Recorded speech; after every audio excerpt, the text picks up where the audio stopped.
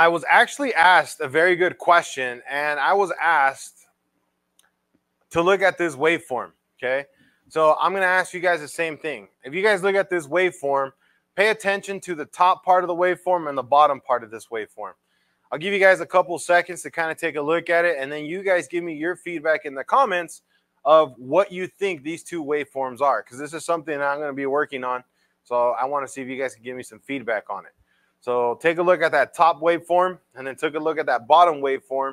And then you guys let me know what you guys think might be wrong with it or what steps or what procedures I should follow to diagnose this particular issue.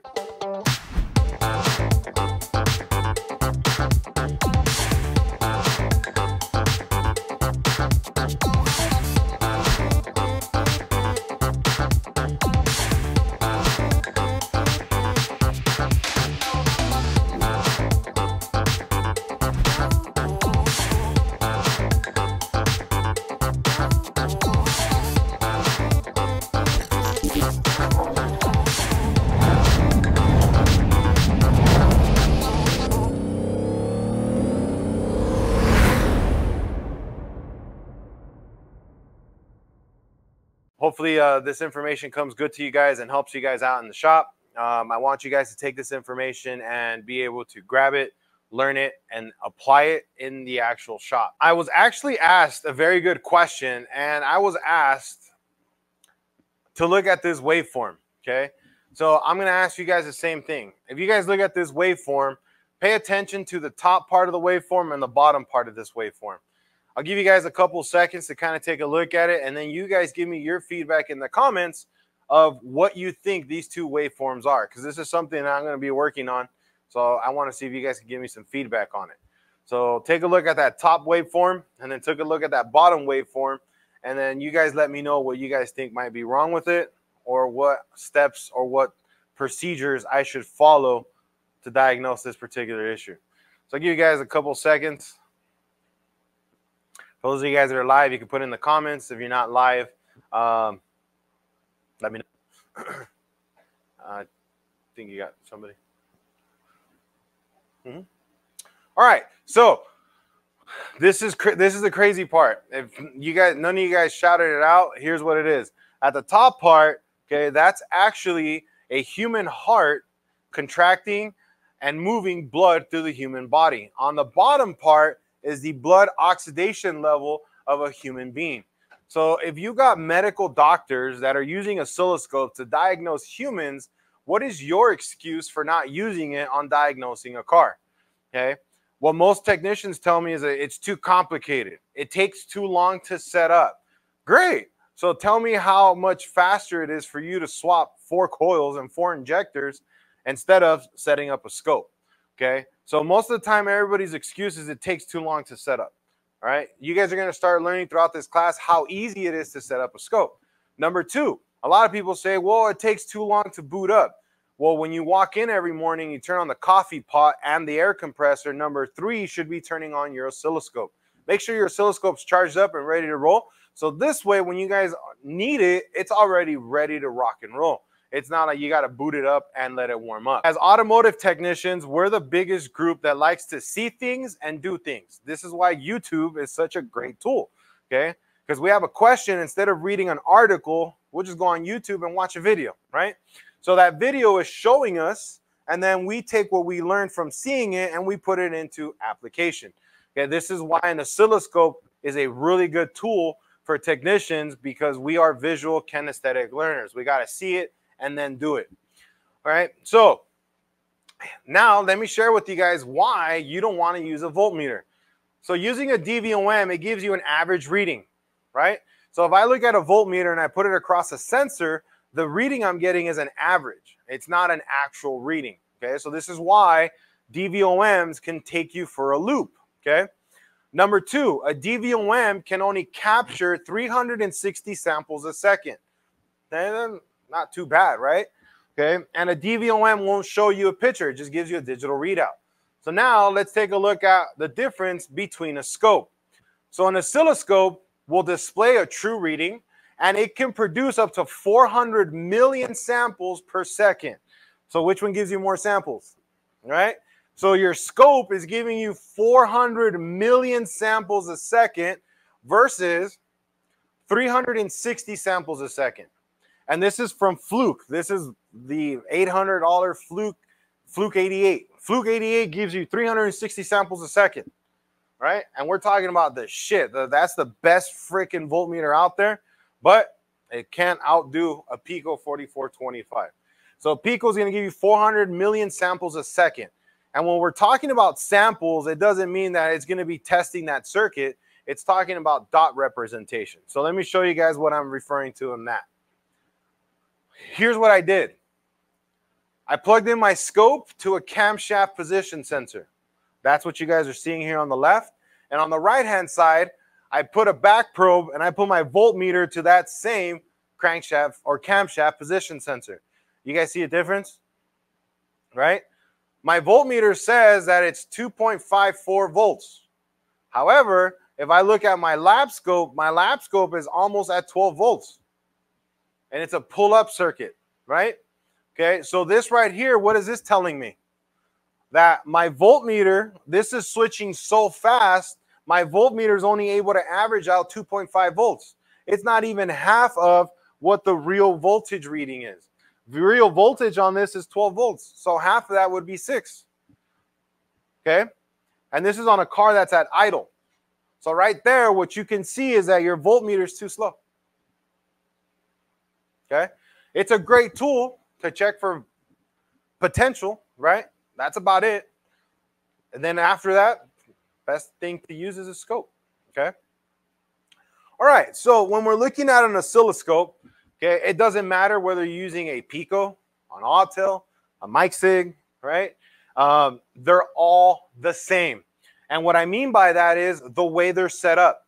If you give me a actual oscilloscope from a laboratory, I'll be able to use it. You guys will be able to do the same.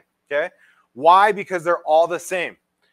When you're talking about an oscilloscope, anything that's in the vertical region, V for vertical is also V for what? Voltage. So anything that goes up and down is a voltage reading.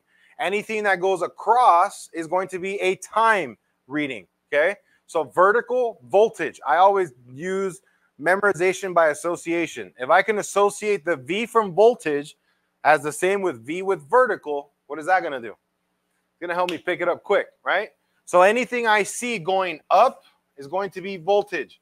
Anything I see going across is time. Okay. This this screen you're looking at right here, this is from a uh, Autel MP408, okay? And this is a 10 by 10 screen. This one right here is from a Snap-on, okay? If you're a Snap-on user, all right, this is what you're looking at, okay? It's the same thing. Voltage, time, okay? This is from a Pico, right? So we have these little squares. You guys know what these squares are called? Okay, those squares are called graticules. So every graticule builds a 10 by 10 square, 10 by 10 frame. Okay.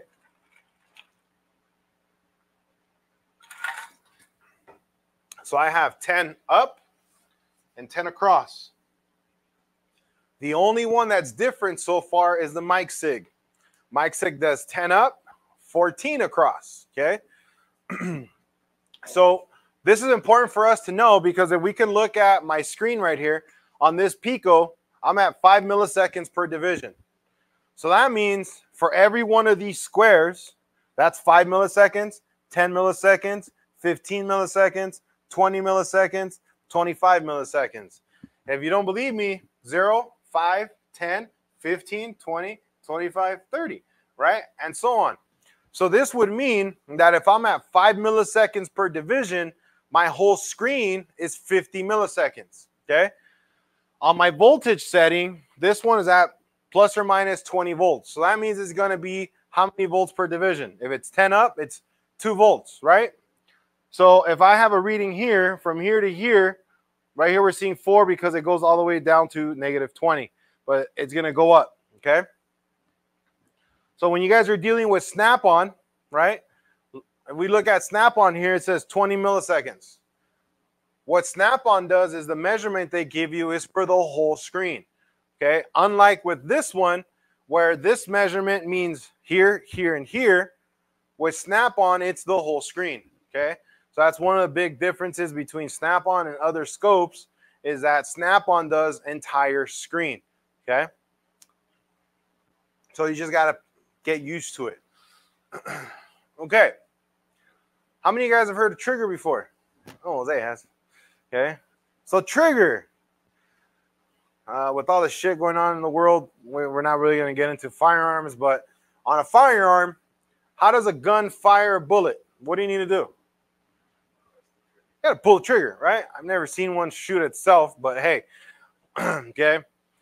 Like a trigger on a gun, the trigger setting on your oscilloscope is telling the scope where to start recording on your particular screen.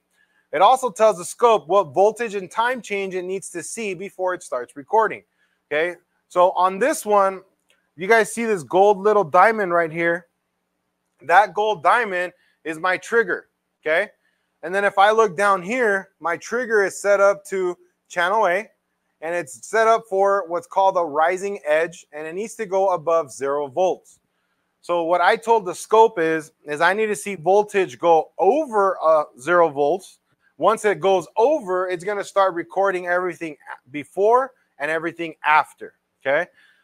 Now, the reason why we want to use a trigger is a trigger is going to help us set up our one capture on that screen. Okay. If you don't set up a trigger, what happens is that waveform you see is going to be all over the place. Okay. I've seen people connect scopes and they're looking at a picture and then it just disappears. And then it reappears and then it disappears. Then it appears over here.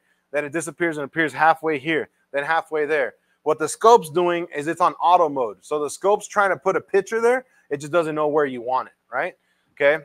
So whenever you set up your trigger, okay, you're telling the scope where you want the scope to start recording. Okay. So depending on the type of scope, Pico, Autel, you grab a little a little dot, drop it there, and then that's how it knows. With the Micsig, uh, it has a little uh, wheel on the side, and then you're gonna drag that up and down, and then that's gonna set your trigger. So we're gonna test the camshaft real quick. So first thing first on this one, just looking at the the whole screen here again. Anything vertical is gonna be voltage. Anything across is gonna be time. So right now, the way I have it set up is it's five milliseconds per division. So it's giving you 50 milliseconds for the whole screen. If we're doing a camshaft signal, usually you want to start with about one second. So if you want to click on that down arrow right there and then change it to one second. So that'll be on this bottom part right here. Okay, we'll go one second. And then it's at 100 millivolts. Um, we know that this is either going to be a 12 volt or a 5 volt sensor. So let's start with 12 volts. So you're going to do plus or minus 20 volts. Okay, perfect. So then now we're going to go ahead and, and, make our connection. So what you want to do with the connection is, oops, we're going to back probe it. So best way is, what's that? Pretty cool. This, this is my new diag cart, actually. I just built it. yeah, so we're testing it out. Ah, no. I got my snap-on guy back there. All right. So you're going to take that one. For ease, usually when you're dealing with a three wire sensor, the, the middle one's usually going to be your signal. So if you want to go ahead and back probe that signal for me, that middle one, and just along the wire all the way down till it can't go any further. All right. And then we'll throw this one on here and we're going to ground that to the battery. Okay. And then you're going to take this one and you're going to pop it on channel A. So it'll be the first one all the way to the left. So the B and C, you're going to slide it in and then twist that black part to lock it in place. Perfect. Okay. So now um, I'm going to go ahead and start the car up real quick so we can test it out. Area clear? Okay, perfect. So now, as you can see, we have a good waveform. Okay, so if you want to jump over the lead real quick, so this way we can take a look at it. So one of the major reasons why I made you go such a long time is this is going to help us. If, if we have a missing tooth, we'll be able to see it, right? Okay, so I don't see any major dropouts. So what we're to do here is let's turn on a trigger. Okay, so like we were talking earlier, a trigger is telling the scope where you want it to start recording, and it's gonna record before and after, right? So on Pico, you're gonna click right here where it says none, and then you're gonna set that to channel A, or excuse me, repeat. Okay, so because it's on repeat, we're telling the scope that we want it to keep repeating at that same level. Okay, so right now channel A is set to a rising edge, so it needs to see voltage go up above zero. So what you could do is you can either change the voltage here in that little box at the bottom, or you could grab that diamond and move it wherever you want. So you could do either or. So now you're telling the scope that it needs to go above 3.7 volts in order for it to start recording. Okay. So now let's go ahead and reduce the time. Go ahead and set it to about 200 milliseconds. So hit that, not that one, the one on top. There you go. Click on that one and set it to 200 ms. Right there. Beautiful. We can actually reduce it further. So if you want to go ahead and put it about 50 milliseconds.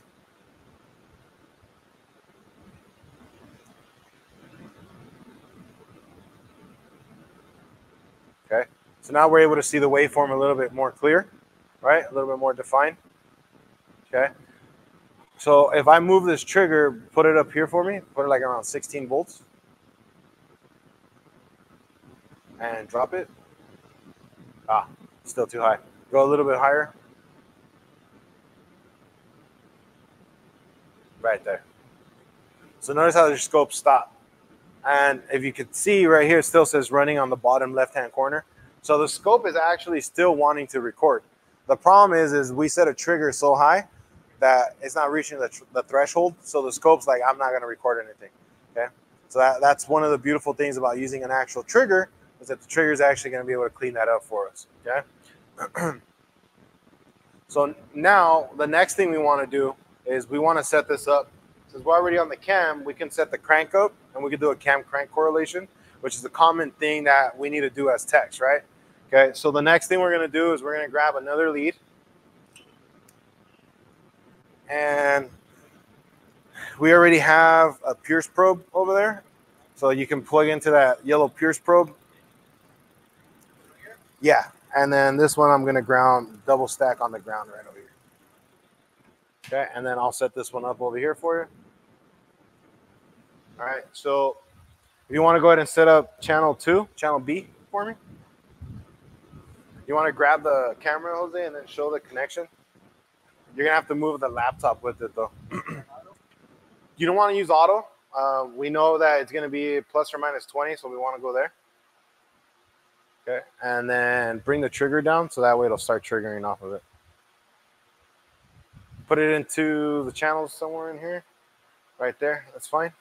And then go ahead and click on like the 12.0 over there and drag it down. That way we can separate them. Bring that down. All right, so right now Jose is showing you guys that we're using a Pierce probe at the PCM. That Pierce probe we put in there because this is a lab car. If you guys ever use a Pierce probe, you need to make sure that you guys are using something like this.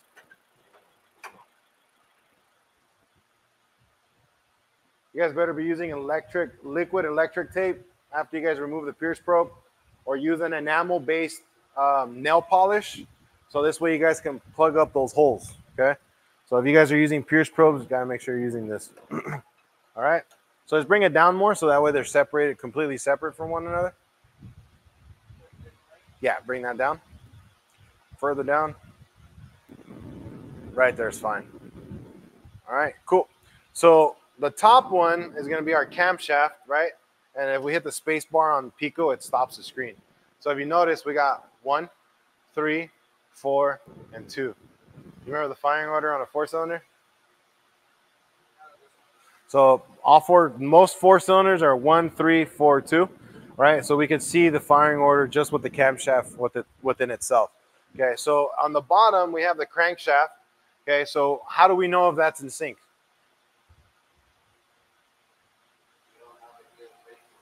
We need a known good waveform, right?